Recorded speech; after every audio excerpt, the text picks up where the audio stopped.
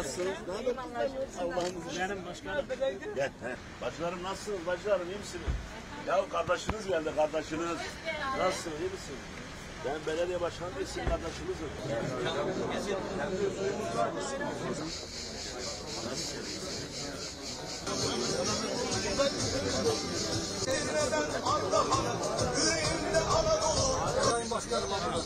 teşekkür ediyor, saygılar sunuyorum.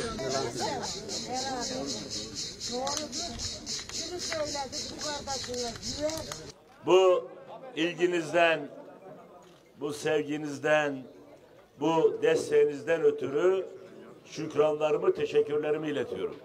Bu bizim için çok önemli. Ama bu ilgi, bu sevgi bize aslında ağır da bir sorumluluk yüklüyor. Bu güveni boşa çıkarmamak, bu desteği boşuna çıkarmamakla ilgili de bizim gereğini yapmamız gerekiyor zaten. Eskilerin 40 yılda yapmadığını bizden 3 yılda istiyorlar. Niye istiyorlar? Çünkü bize inanıyorlar, bize güveniyorlar. Yapacağımız konusunda kuşkuları olmadığı için milletin eskilerin 40 yılda yapamadığını biz 3 yılda yapalım istiyorlar. Bu bizim için bir memnuniyet verici aslında. İşçilik parası ödeyemeyen, mazot alamayan bir belediyeyi 200 milyon liraya borçlamadan otobüs alır hale getirdik. 150 milyona alt geçit alır hale getirdik. 60-70 milyona yine borçlanmadan bir kuruş kamyon alır hale getirdik. Geçen sene burada çok ciddi su sorunu vardı. İki sene önce bu sene onu çok azalttık. Adana Türkiye'nin en önemli kentlerinden bir tanesi.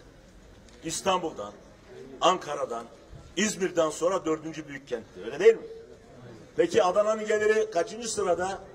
Bilen var mı? Birinci değil işte. Adana'nın geliri 22. sırada, 22. 30 büyük şehir var Adana'da, ki Türkiye'de. 30 büyük şehir. 30 büyük şehirde bu dördüncü büyük kentin geliri 22. sırada. Millet İttifakı olduğu ilk sene ben Adana'nın gelirini ilk ona çıkartmayı burada taahhüt ediyorum size. Taahhüt ediyorum. Bu ne demek? Bunu niye söylüyorum? Bunun için önemli. Çünkü belediyeler bütçeleri kuvvetli olursa kuvvetli iş yaparlar. Ben Adana'yı, Adanalıları, ülkesini çok seven bir kardeşinizim. Bakın, yazın sıcakta tatile gitmiyoruz. Sizlerin ayağına geliyoruz. Seçim ortada yok. Seçimin ne zaman olacağı belli değil. Erken olması Haziran'da olacak öbür sene. Benim seçimde zaten iki sene var. Ama biz seçimden seçime vatandaşın ayağına giden siyasetçiler değiliz. Millet İttifakı'nın belediyelerin olduğu yerde o ilçeler, o iller emin ellerde. Ve inşallah yakında Türkiye'de emin ellere geçecek. Kozan'ı, Kozan'ın köylerini ne kadar ödem, önemsediğimizi bu tabloyu e, e, görünce anlamanız lazım. Vekillerimiz burada, belediye başkanlarımız burada, ilçe başkanlarımız burada. Bir toplu geliyoruz, not alıyoruz tabii. Bunların tamamında sismik araştırma yaptık. Ne yazık ki sizin söylediğiniz gibi su yok. Ve Kozan'da 5-6 köyün su sıkıntısı var. Biz yüze yakın köyün suyunu çözdük. Yüze yakın. Suyu idareli kullanmak zorundayız. Su her sene biraz daha sıkıntı olacak. Bu Kozan, Feke, Sayın Bey'le çok önemli bir bölge. Tabii Adana bütünüyle önemli bir bölge. Ben Çanakkale'de gerçekten gözlerim yaşardı. Kentimle, Adana'yla sizlere büyük onur duydum. Ağustos bizim kurtuluş bayramımız. Ben 30 Ağustos Zafer Bayramı'nı bugünden kutluyorum.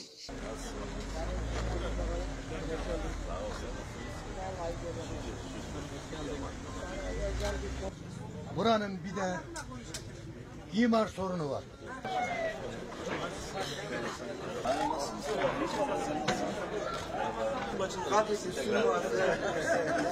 Hoş geldiniz başkanlarım. Merhaba gençler.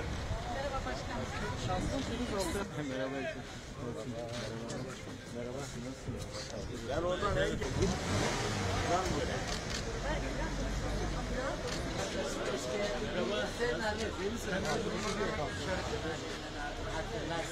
Almanya'dan geliyorum bak buradan vallahi billahi seni takip ediyorum. Willkommen, willkommen.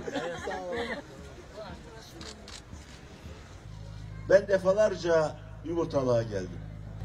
Yumurtalık bu halde olmamalı. Tanıtamamışız. Çaba göstermemişiz. Gayret etmemişiz.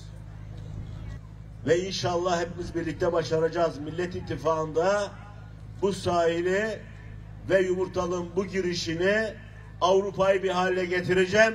Bunu da burada söylüyorum. Bakın kıymetli kardeşlerim neredeyse yapılmadık bir yol bırakmadık burada. Suyu problem olmaktan çıkarttık. 10 milyonlarca para harcadık. Feda olsun hepinize. Yolumuz Mustafa Kemal Atatürk'ün yoludur. Başka da bir yolumuz yoktur diyorum. Hepinize en derin saygılarımı, sevgilerimi sunuyorum. İyi eğlenceler diyorum sevgili kardeşlerim.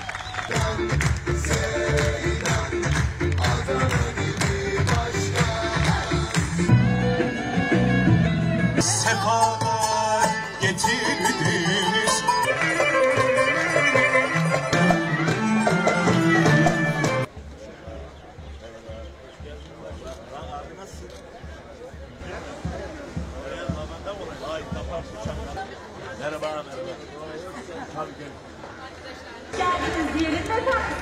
Sayın Başkanımıza?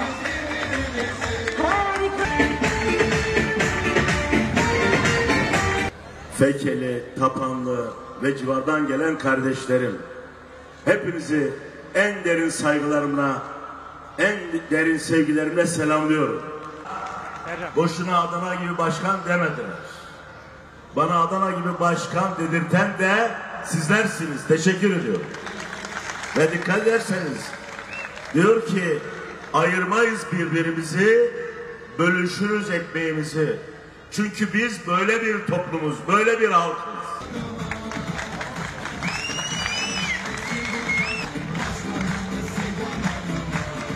Kalesini havalandıran rüzgar Denizleri köpük köpük dalgalan